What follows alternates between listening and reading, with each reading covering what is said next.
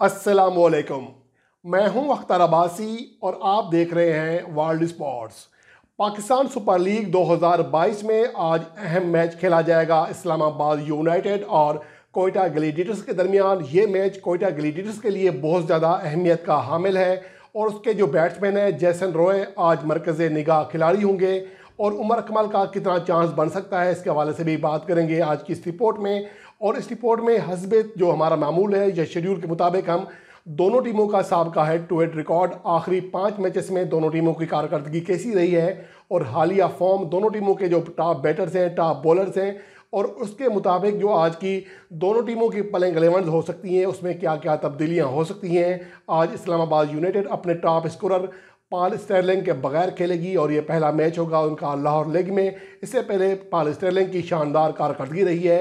Islamabad United की फतवात में उनका बड़ा किरदार रहा है, जबकि कोयटा ग्लेडिएटर्स अपने टॉप बॉलर्स और टॉप फोर बैट्समैनों में शामिल मोहम्मद नवाज़ के बगैर आज खेलेगी, जो कि अनफिट हो गए हैं और उनकी जगह मुतबादल प्लेयर के तौर पर हसान खान को लिया गया है, जबकि इस्लामाबाद यूनाइटेड ने पाल स्टर्लिंग की जगह लियाम डासन को लिया है, जो कि इंग्लैंड के ऑलराउंडर हैं, और हालिया जो सीरीज़ थी वेस्ट इंडीज़ के खिलाफ, वो खेल कर वापस आ रहे हैं और वो ज्वाइन कर चुके हैं अपनी टीम को। अब देखना ये है कि इसके हवाले से आज जो प्लेइंग एलेवन हैं, उनमें क्या क्या तब्दीलियाँ होंगी। इस बात का जायज़ा लेने से पहले हम दोनों टीमों का सबका हेड टू हेड रिकॉर्ड देखेंगे, जहाँ पर वाज तौर पर देखा जाए तो दोनों टीमें आइन बराबर खड़ी हैं। अगर रिकॉर्ड के लिहाज से देखा जाए तो चौदह मैचेस खेले गए हैं अब तक इस्लामाबाद यूनाइटेड और कोयटा ग्लेडिएटर्स के दरमियान और दोनों टीमें जो हैं चार चार मैचेस जीतने में कामयाब रही हैं। लेकिन अगर आखिरी पाँच मैचेस देखें तो यहाँ पर इस्लामाबाद यूनाइटेड का जो पलड़ा है, वो भारी है, जिसने तीन मैचेस जीते हैं और दो मैचेस जीते हैं कोयटा ग्लेडिएटर्स ने। और इससे अगर हम और मार्जिन को काम करें, यानी आखिरी तीन मैचेस में कारकर्दगी देखें तो तीनों मैचों में इस्लामाबाद यूनाइटेड ने कोयटा ग्लेडिएटर्स को शिकस्त से दो चार किया है। ये इस्लामाबाद का पलड़ा वाज तौर पर भारी दिखाई देता है। मौजूदा जो कारकर्दगी रही है। मौजूदा वक्त में इस्लामाबाद यूनाइटेड जो है वो तीसरे नंबर पर है। कोयटा ग्लेडिएटर्स चौथे नंबर पर है पॉइंट्स टेबल पर। और अगर आज के मैच के अतबार से देखें तो इस्लामाबाद यूनाइटेड जो कि गुजशत मैच में लाहौर कलंदर की फतह की वजह से एक दर्जा नीचे आई थी।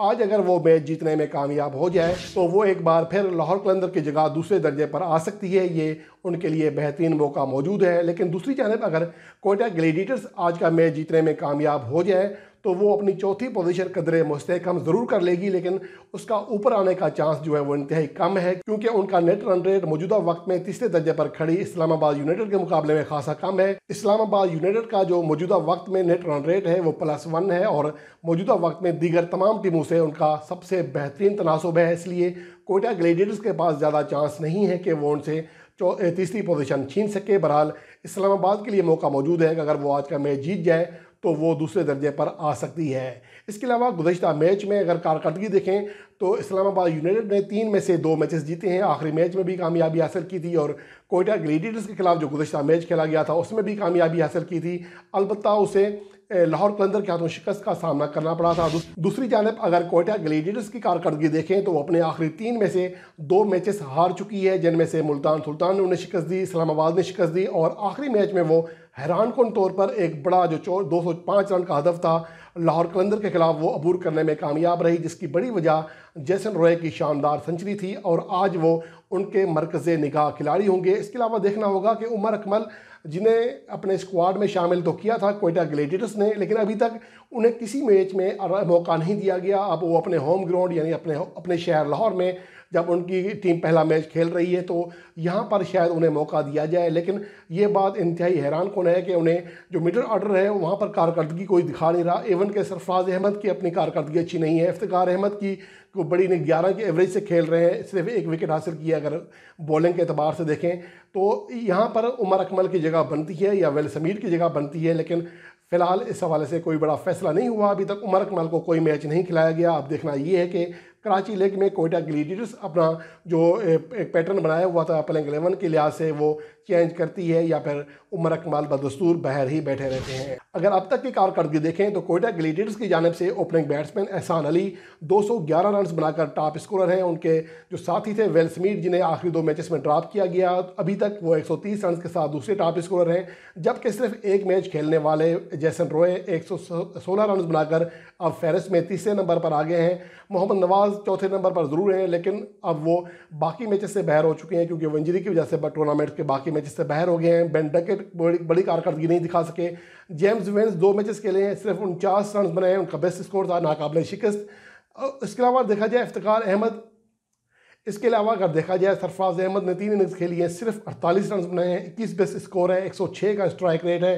इफ्तार अहमद ने अभी तक चार इनिंग्स में सिर्फ़ सैंतालीस रन बनाए हैं, तीस बेस्ट स्कोर है और सिर्फ़ ग्यारह की एवरेज है अलबत् उनका स्ट्राइक रेट एक सौ चालीस है, जो कदर बेहतर है, लेकिन उनकी कारकर्दगी अभी भी उस लेवल की नहीं है कि उन पर अंधा अतमाद करके प्लेइंग एलेवन का हिस्सा बनाया जाए। बहरहाल इफ्तार अहमद एक अच्छे प्लेयर हैं, लेकिन अभी तक उनकी कारकर्दगी पाकिस्तान सुपर लीग 2022 में वैसी सामने नहीं आ सकी, जैसा कि उनका किरदार था या जैसा कि वो इस्लामाबाद यूनाइटेड के लिए या दीगर टीमों के लिए ख़ास तौर पर के पी के के लिए जैसे वो खेलते रहे हैं डोमेस्टिक क्रिकेट में, वैसी कारकर्दगी उनकी जानब से अभी तक सामने नहीं आ सकी।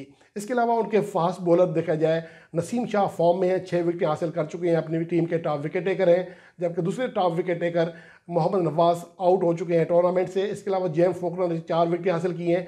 क्यों देखा जाए तो उनकी जो बॉलिंग लाइन है कोटा की, वो भी ज़्यादा अच्छी फॉर्म में नहीं है। शायद अफरीदी ने दो मैचेस में एक विकेट हासिल की। तेरह का उनका रन रेट रहा है इकनॉमी रेट रहा है, बयानवे के एवरेज बहुत महँगे साबित हुए हैं। इसके अलावा लियोक वोड को एक मैच खिलाया गया। पैंतालीस रन देकर वो एक विकेट हासिल कर सके। सोहेल तनवीर को चार मैचेस खिलाया गया है दो विकेट हासिल कर सके। यानी उनकी जो बॉलिंग लाइन है वो जदोजहद कर रही है। अच्छी कारकर्दगी उनकी जानब से सामने नहीं आ सकी। दूसरी जानब इस्लामाबाद यूनाइटेड जिनके टॉप स्कोरर पाल स्टेरलिंग जो एक सौ सतासी रन बनाकर अपनी टीम के टॉप स्कोरर थे। अब वो लाहौर लेग में इस्लामाबाद को दस्तियाब नहीं होंगे, जिसकी वजह से अब लियाम डासन उनकी जगह लेंगे। शादाब खान अपनी टीम के दूसरे टॉप स्कोरर हैं और इनके अलावा अलेक्स हेल्स एक सौ अड़सठ रन बनाकर तीसरे नंबर पर हैं। कोलिन मुंड्रो आज ओपनिंग करेंगे।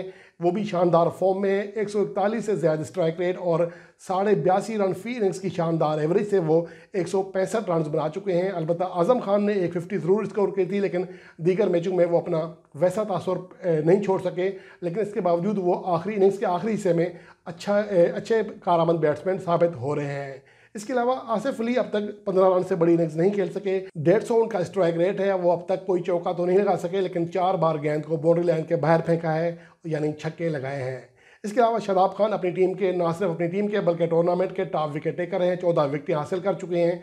उनके अलावा वका, वकास मकसूद और हसन अली ने छः छः विकेट हासिल किए हैं। यूँ उनकी जो बॉलिंग लाइन है वो कदर फॉर्म में है। अलबत् मुबसर खान और फ़हीम अशरफ अब तक वैसी कारकर्दगी नहीं दिखा सके जैसा कि उनसे तो थी और मोहम्मद वसीम जूनियर पाँच विकेट हासिल करके किसी हद तक अपनी अफादियत साबित कर चुके हैं। अगर इस तनाजुर में देखा जाए तो आज की जो प्लेइंग एलेवन होगी, इस्लामाबाद यूनाइटेड की, उसमें लियाम डासन की एंट्री हो सकती है। इसके अलावा जो टीम होगी, वो कुछ इस तरह होगी। कोलन मुंड्रो और अलेक्स हेल्स ओपनिंग करेंगे। शादाब खान, आज़म खान, आसिफ अली, लियाम डासन मुबसर खान, फ़हीम अशरफ, मोहम्मद वसीम, हसन अली और वकास मकसूद। दूसरी जानब अगर देखा जाए कोयटा ग्लेडिएटर्स उसकी प्लेइंग एलेवन में भी अगर उमर अकमल को मौका दिया जा सकता है मौका दिया जाता है तो शायद एक दो तब्दीलियाँ हों, वरना मेरे ख्याल में जो उनकी प्लेइंग एलेवन होगी, वो कुछ यूँ होगी। Ahsan Ali, Jason Roy James Vince Iftikhar Ahmed, Sarfaraz Ahmed, Shahid Afridi, James Faulkner, Sohail Tanvir, Luke Wood, Ghulam Mudassar और नसीम शाह।